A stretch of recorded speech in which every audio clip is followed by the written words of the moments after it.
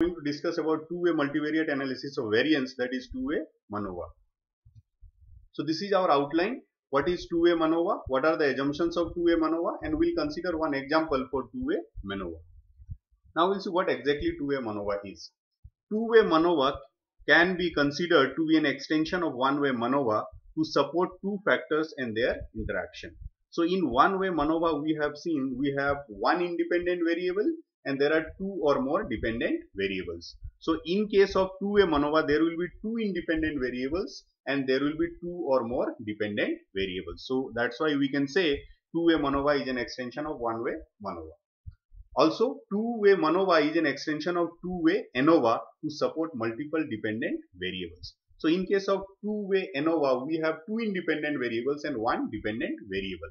But in case of two-way MANOVA we have two independent variables and we have two or more dependent variables. So we can also say this two-way MANOVA is an extension of two-way ANOVA.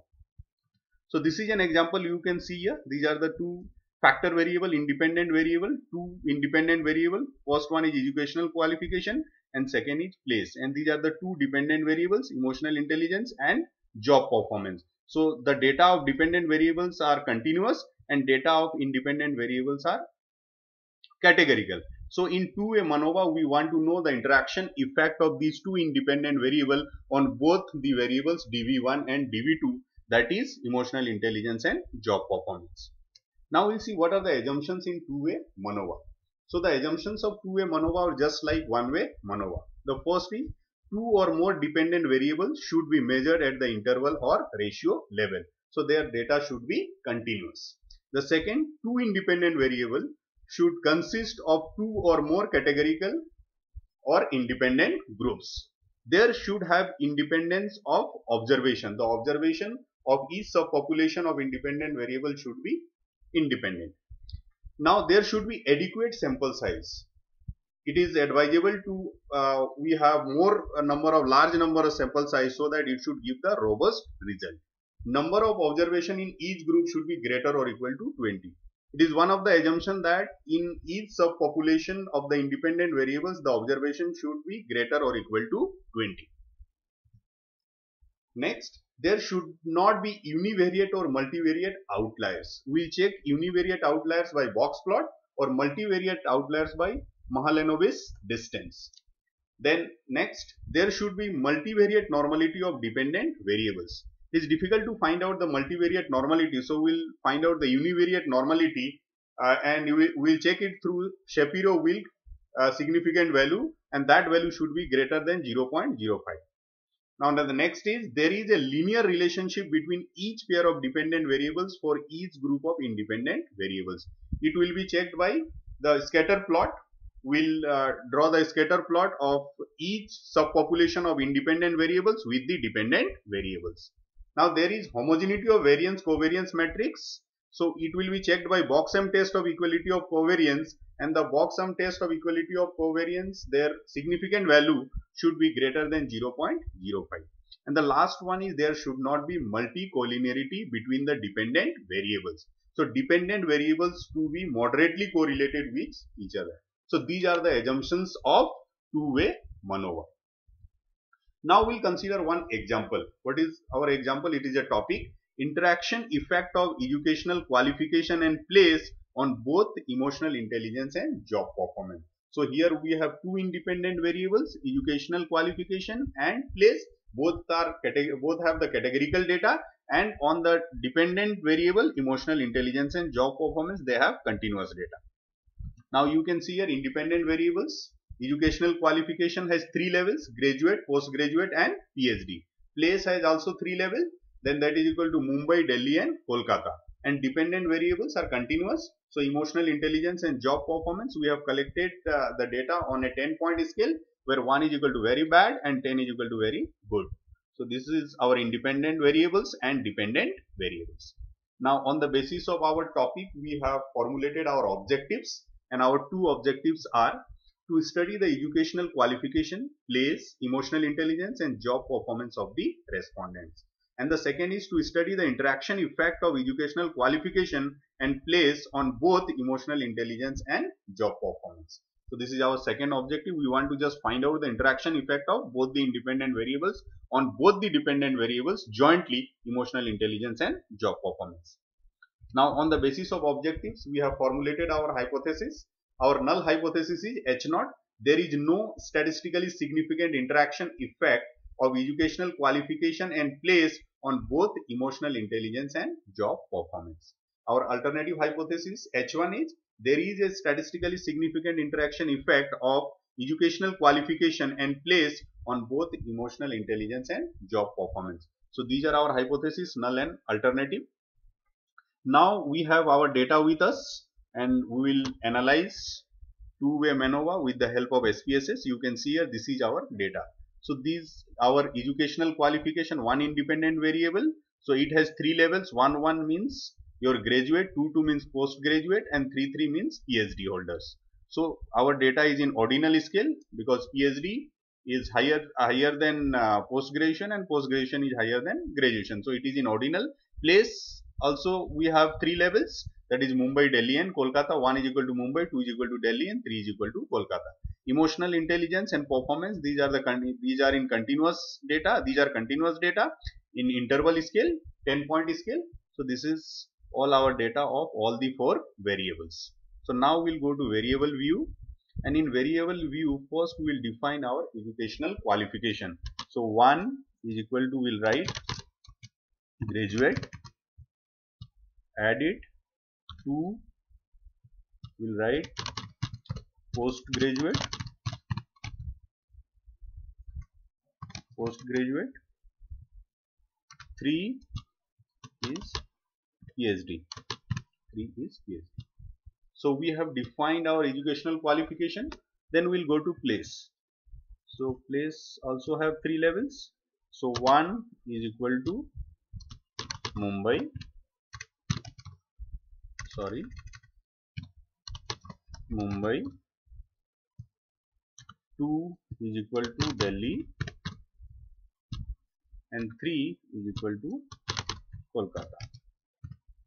3 is equal to Kolkata. So these are the three places. Now our uh, educational qualification, it is in ordinal scale. Ordinal scale, sorry, it is in ordinal scale because PhD is higher than postgraduate, postgraduate is higher than graduate. So it is in ordinal scale. Then place is in nominal scale because it is in only for the identification 1, 2, 3 and these two data are in interval scale. So we'll put here scale. Okay. Now we'll go to data view. So you can see our data. Now first we will find out all the assumptions should satisfy. So for that we will go to analyze. First we will see outliers univariate outliers and multivariate outliers and normality. So for that we will go to descriptive statistics we will go to explore. And in explore we will take this depend uh, these dependent variables uh, emotional intelligence and job performance to dependent list. And we will go to statistics in which we will click outliers then continue. Then we'll go to plots and then we'll remove this stem and leaf and then we'll click here on histogram and then normality plots with test and then continue and then ok so this is our output you can see here. We'll directly go to test of normality to see the Shapiro-Wilk significant value. So you can see here. So the Shapiro-Wilk significant value is 0.149 for emotional intelligence, 0.308 for your job performance. So both these values are greater than 0.05. So our uh, test of normality condition holds. Now we'll go for outliers. For outliers, we have to see the box plot. So you can see the box plot of this is the box plot of emotional intelligence. So all the values of emotional intelligence are within this box plot from minimum value to maximum value. This is Q1, Q2 and Q3. No points are outside this box plot. So there are no outliers. Similarly, we'll see it for this. We'll find out for sale uh, job performance. We'll find out for job performance. You can see here. We'll go down you can see here so all the points of job performance also the dependent variable job performance all are within this box plot no points are outside this box plot from minimum to maximum q1 q2 and q3 all these values are there so we have seen no points univariate outliers are not there and also the dependent variables have, are normally distributed. So these two things we have seen. Now we have to see multivariate outliers. And for multivariate outliers we have to go to analyze and then we'll go to regression linear and we'll put these two variables emotional intelligence and job performance in the independent list and the educational qualification on the dependent list.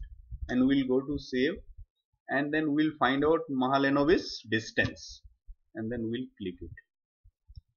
Then okay we know uh, the critical value of Mahalanobis distance for two dependent variables is 13.82 now we have to find out the maximum value.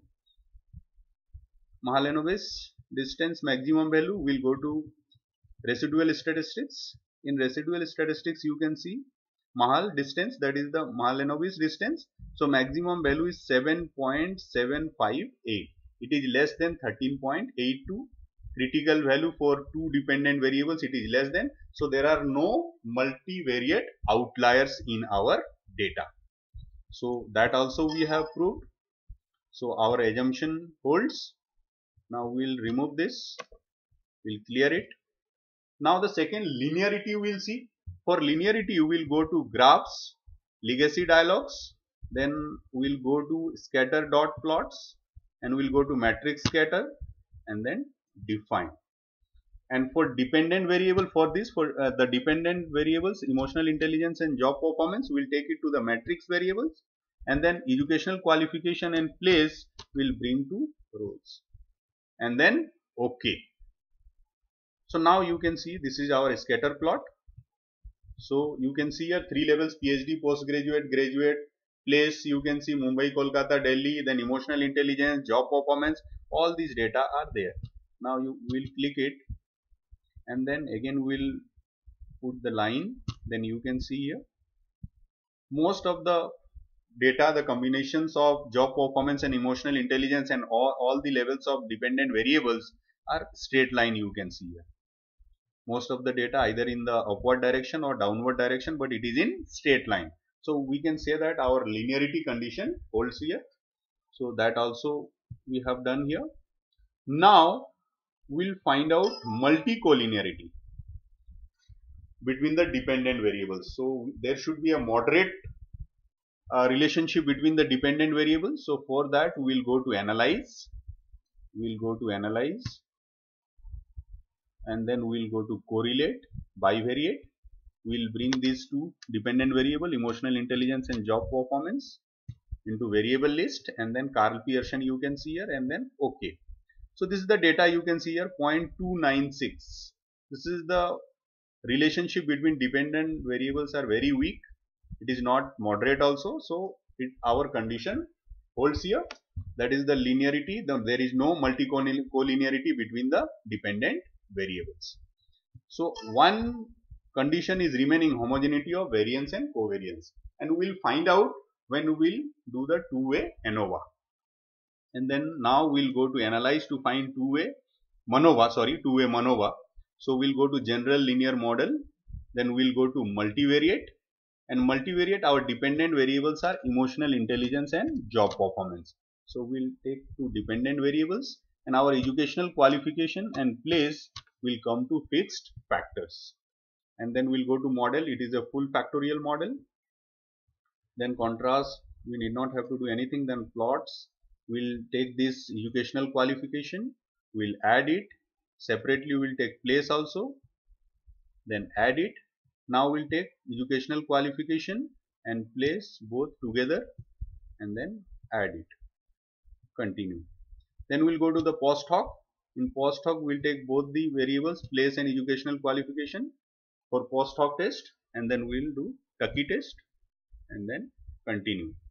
Then for save we need not have to do anything then we'll go to options.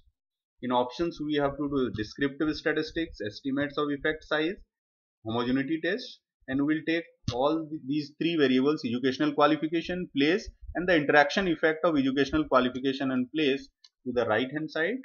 And we'll compare main effects for that and then we'll continue. And then okay. So this is our output you can see here. This is our output. Okay. So this is our output. So generalized linear model. So you can see here educational qualification graduate 10 people postgraduate 10 people and phd 10 people. Our sample size is equal. Similarly for place also mumbai 10 delhi 10 and kolkata 10 so this is our sample size. Second you can come here in the descriptive statistics. Emotional intelligence for graduate the people from mumbai their mean value is 5.75 similarly for delhi for kolkata and then this is the total overall mean of the three places of graduate students similarly for postgraduate and similarly for phd so these are the mean value standard deviation and these are the sample size you can see okay. Then you can see here one of our assumption that is the box test of equality of covariance. So here the significant value is 0.134 which is greater than 0.05 so this condition also holds. So all the conditions of two-way MANOVA holds all the conditions are satisfying for two-way MANOVA now this is our main table of two-way MANOVA in two-way MANOVA you can see educational qualification the independent effect the only one variable if you are considering educational qualification all the four types of tests Pillai trace Wilks lambda Hotelling trace and then Roy's largest root all the significance values are greater than 0.05 so there is no significant impact or effect of educational qualification on both emotional intelligence and job performance. Similarly if we are considering one independent variable place then also all the uh, four types of test values significant values are greater than 0.05 so place has also no effect on emotional intelligence and job performance jointly. Now if we are talking about the interaction effect of educational qualification and place so all these values Pillai trace, Wilks lambda, Hotelling trace and Roy largest roots value all these significant values are greater than 0.05 so there is no interaction effect of educational qualification and place on both emotional intelligence and job performance. So this is our output from this particular table.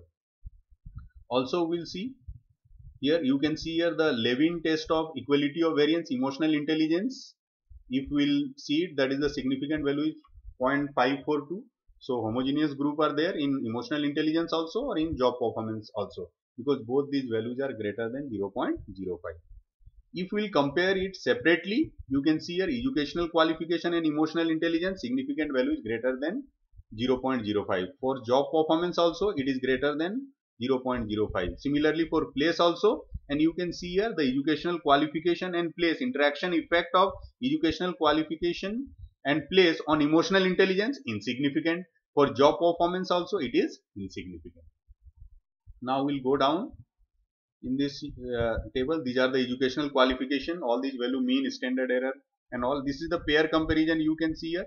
So emotional intelligence graduate postgraduate graduate and phd all these values are insignificant values you can see here in the pairwise comparison in the post hoc table.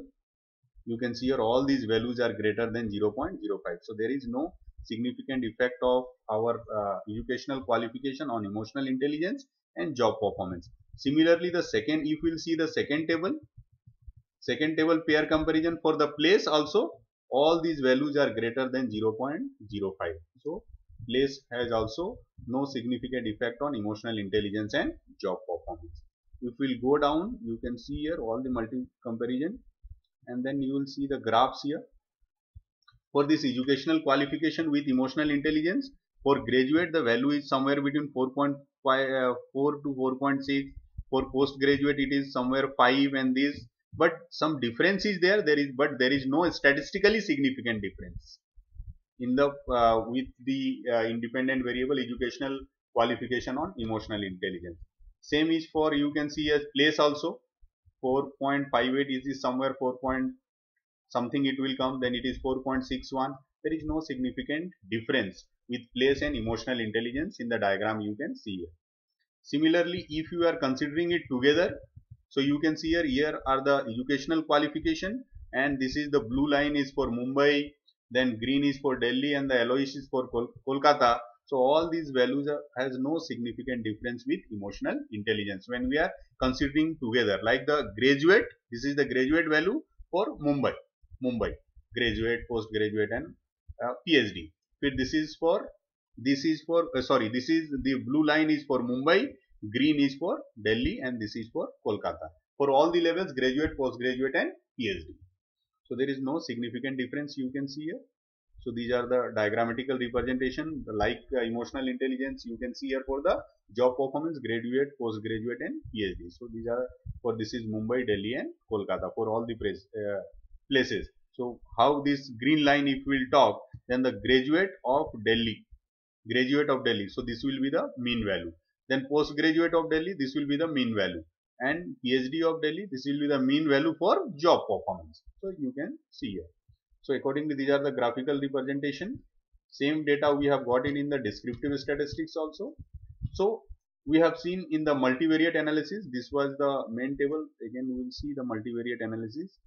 Uh, you can see here between educational qualification and then place separately if we are uh, talking about these two independent variable all are insignificant when we are talking about the interaction effect all the significant values are greater than 0.05 if all our conditions hold then we will see Wilks lambda. If any one of our assumptions are we are not, not able to uh, satisfy, then we can see the Pillai trace. But most of the time, 95% of the time, if one is insignificant, all the values will be insignificant here. And if one is significant, then all the value will be significant. So we can consider for reporting, we can consider all the four types of values, Pillai trace, Wilks lambda, Hotelling trace and Roy's largest root. Now we'll see how to report this value. How to report this value. So you can see here. The data collected for analysis holds all the assumptions of two-way MANOVA. The significant value, the significant value of Pillai trace, Wilks lambda, Hotelling trace and Roy's largest root are greater than 0.05. So it has sufficient evidence as per decision rule to accept the null hypothesis. Hence H0 that is null hypothesis is accepted. What does it mean? It means there is no significant interaction effect of educational qualification and place when considered jointly on both the variables emotional intelligence and job performance. So this is our conclusion for two-way MANOVA. That's it.